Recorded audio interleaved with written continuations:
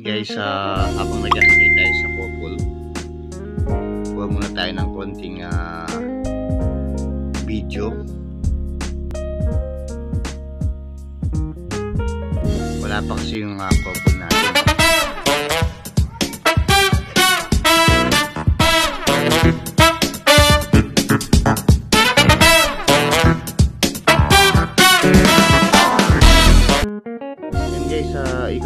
Tayo dito sa site habang wala pa yung ah, couple natin para sa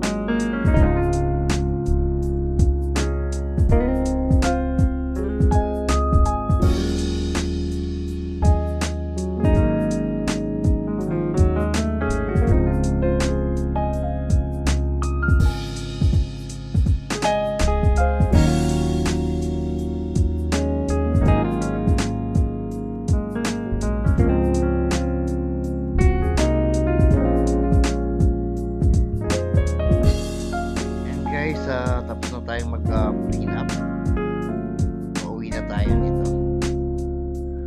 Nauna na yung ating mga kasama. Salamat po, salamat sa panonood.